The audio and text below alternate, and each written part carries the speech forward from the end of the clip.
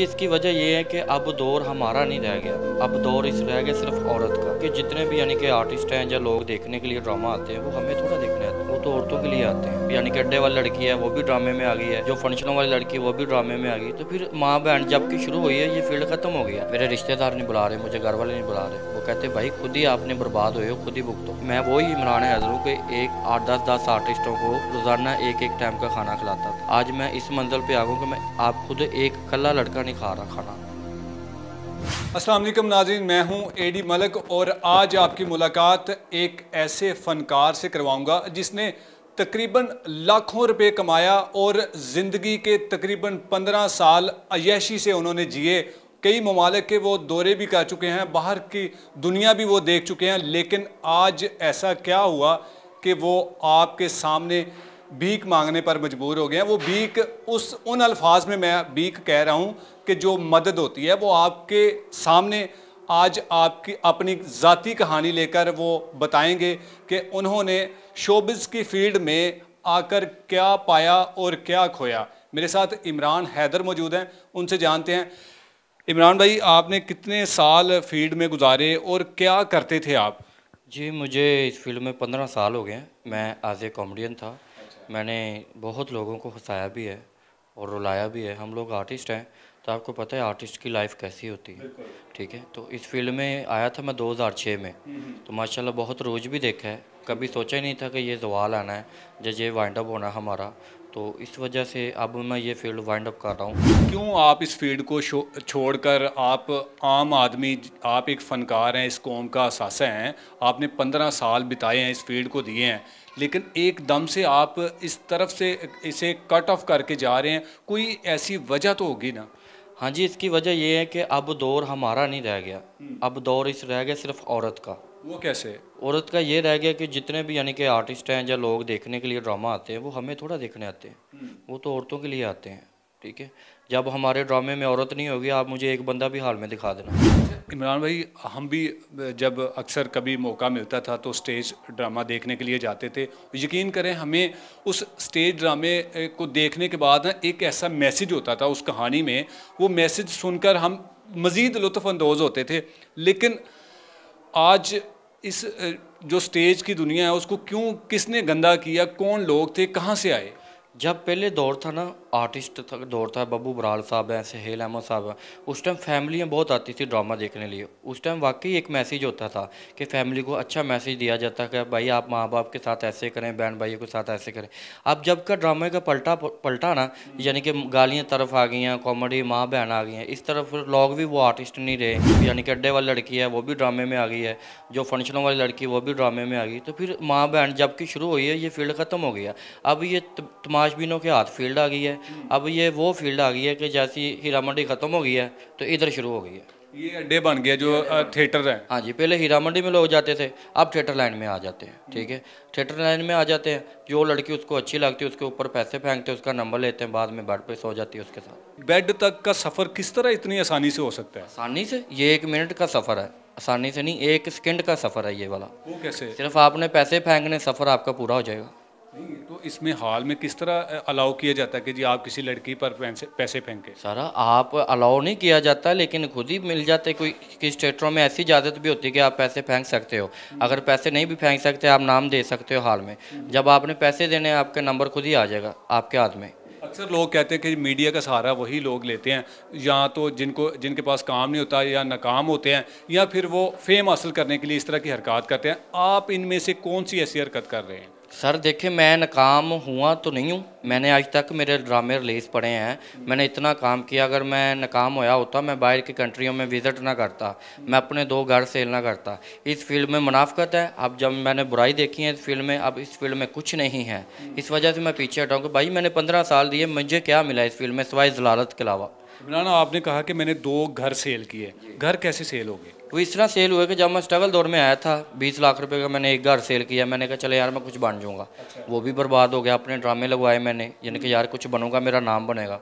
दूसरा भी बेचा अभी भी ऐसे अगर मुझे पता था ये वाइंड अप इसका ये है मैं कभी भी ऐसा काम ना करता। एक घर बेचने के बाद जब आप नाकाम हुए थे या आपका ड्रामा वो फ्लॉप हो गया तो आपके घर वालों ने दूसरा घर मकान बेचने से आपको रोका नहीं कि बस कर दो आप कुछ नहीं करना भी सर मेरे घर वालों ने आज ये मंजिल आ गई है मेरे ऊपर मेरे घर वाले मुझे बुला ही नहीं रहे। क्या कहते हैं वो? मेरे रिश्तेदार नहीं बुला रहे मुझे घर वाले नहीं बुला रहे। वो कहते भाई खुद ही आपने बर्बाद हुए हो खुद ही भुगतो। मैं आपको फिर कह रहा हूँ कि आने वाले वक्त में ये फ़ील्ड और बदनाम होगी।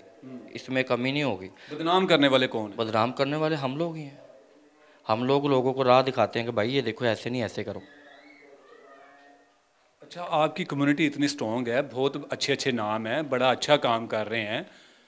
उन्होंने भी आपसे रबता नहीं किया कि इमरान परेशान ना हो हम आपकी मदद करेंगे। सर मैं कह रहा हूँ काफ़ी इंटरव्यू मेरे चल रहे हैं। मेरा ख्याल एक फ़ोन भी नहीं आया मुझे। आखिर में मुझे ये बताएँ कि अब आप क्या चाहते हैं? कोई अपील है? कोई आपको दर्दमंदाना कोई सवाल किसी के लिए छोड़ना चाहते हैं? बहुत सारे लोग आपको देख रहे हैं सुन रहे हैं।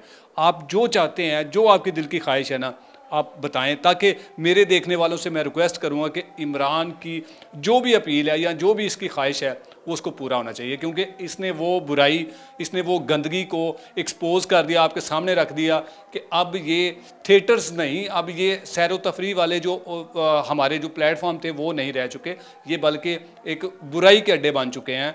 और ये वही शख्स वही शख्स बता रहा है जिसने अपनी ज़िंदगी की डेढ़ दहाई गुजार दी है। और आज इन्होंने तोबा कर है कि मैं अब इस फ़ील्ड में नहीं आऊँगा, क्योंकि इस फ़ील्ड को जिन लोगों ने गंदा कर दिया है, वो लोग आज, आए रोज़ देखते होंगे कि वो कभी किसी चैनल पर बैठ कर मुख्तलिफ़ किस्म के अंदाज में अपनी आप बीती बता रहे होते हैं, लेकिन असल में उनका काम कुछ और होता है। इमरान की आखिर में क्या ख्वाहिश है, वो इमरान से जानते हैं। अगर हमारी फ़ील्ड के लोग मुझे बोले ना कि भाई ये फेम के लिए आ रहा है हर चैनल पे या हर मीडिया पे, मैं कह रहा हूँ कि ऐसे फेम पे मैं लानत भेजता हूँ, ठीक है? और जो गुरबत से मैं गुजर रहा हूँ कि आप भी ना गुजरें मेरी दुश्मनी भी ना गुजरे, आप खुद ही आके मेरे घर की तसली करें, देख सकते हो आप आन के अगर मेरे मीडिया वाले यानी कि दोस्त कुछ भी लोग हैं जब मेरे आर्टिस्ट कहते हैं कि भाई ये फेम के लिए कर रहा है तो मैं फेम के लिए नहीं कर रहा हूँ मेरी रियल है, आपको पता होगा कि मैं, आपकी सोच भी नहीं होती कि इमरान के, हैदर के ऊपर ये वक्त आएगा, ठीक है? आप मेरे घर में रह के भी गए हो, आप मेरे घर के हालात भी देख के गए हो, आप मेरे घर में, मैं वही इमरान हैदर हूँ कि एक आठ, दस दस आर्टिस्टों को रोज़ाना एक एक टाइम का खाना खिलाता था। आज मैं इस मंजिल पे आ कि मैं, आप खुद एक कल्ला लड़का नहीं खा रहा खाना, ठीक है? मैं अपील ये करूँगा ठीक है शबाज शरीफ से, नवाज़ शरीफ से अपील नहीं करूँगा क्योंकि वो खुद मांग रहे हैं। इस टाइम उनको पैसे की बहुत ज़रूरत है, ठीक है? अपील करूँगा मैं इमरान खान साहब के, अपील करूँगा मैं इमरान रियाज साहब से, अपील करूँगा वफा चौधरी साहब से, परवेज़ लाई साहब से अपील करूँगा। यानी कि पीटीआई के जितने भी वर्कर हैं, इनसे मैं अपील करूँगा और जितने भी हमारे फ़ील्ड के आर्टिस्ट हैं सुपरस्टारों से, सहेल अहमद साहब से करूँगा, मैडम मैगा से करूँगा, ठीक है? हाजी ठाकर साहब से करूँगा ठीक है? तारक टाडी साहब अल्लाह जनतों में घर दें ठीक है? नासर चनोटी साहब से करूँगा। जितने भी मेरे बड़े नसीम विक्की साहब कैसर रुपया साहब इनसे अपील करूँगा कि भाई मेरा साथ दें मुझे अपने पाँव पे खड़ा करें मैं इस टाइम बहुत गिरा हुआ हूँ। क्या आप किस तरह से कारोबार करना चाहते हैं? किस तरह का काम करना चाहते हैं? मैं कारोबार करना चाहता हूँ यानी कि अपना रश्का वगैरह चलाना चाहता हूँ ठीक है? एक रश्का नया मुझे ले दें कोई भी ले दें। मैं अपने घर का सिस्टम सीधा कर लूँ और अपना निज़ाम सीधा कर लूँ। मैं इस फ़ील्ड नहीं आना चाहता ना मैं करना चाहता हूँ।